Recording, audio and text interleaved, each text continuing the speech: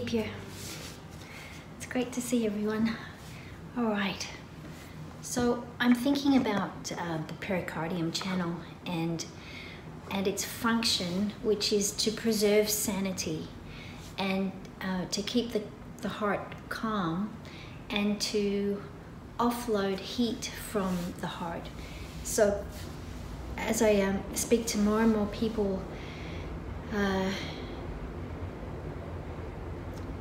concerned about things that are unmentionable, um, I'm finding that there's a, a tightening of the chest and the pericardium's job is to enable the heart to um, to adapt. So one of the functions of the heart is to control uh, relationships and to create relationships. And so when the heart feels that it, it can't control anything, that it has no choices to make, um, the, the Yuan Qi keeps um, financing the emotions that arise as a result of that, the frustration that the heart is experiencing. So you've got this continual um, meting out of the yuan qi through the bladder shu points. So this, these emotions of frustration are entering the blood and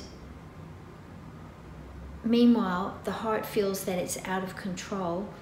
The pericardium tightens the chest to try to defend the heart and so you've got these two actions that uh, that result in a, a feeling of, of emotional imbalance.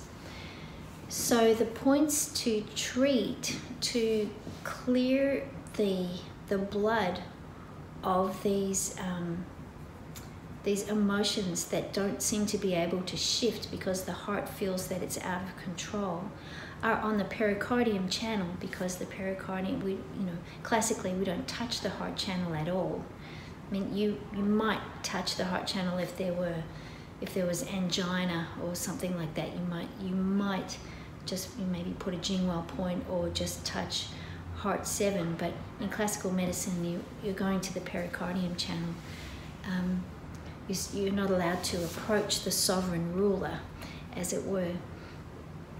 So the the pericardium primary channel is bled for that, and uh, pericardium 3, the, um, the, the pool in the marsh, which is in the crook of the elbow, and, and pericardium 5, which is um, 7, 6, 7, 6, 5, which is 3 cun uh, proximal to pericardium 7, to the crease of the wrist that is also bled. These are luo, not luo points, which we would normally bleed. They're uh, primary channel points, and they they treat this um,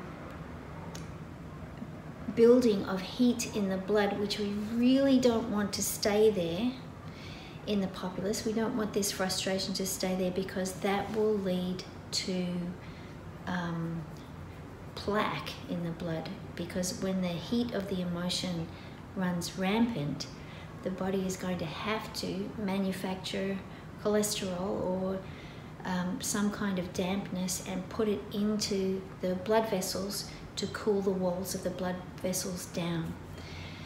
So the ripple that we'd be putting out into the pond is, um, and I have no idea where this ripple would go. I don't have a vision for how it will land or what the result of it would be.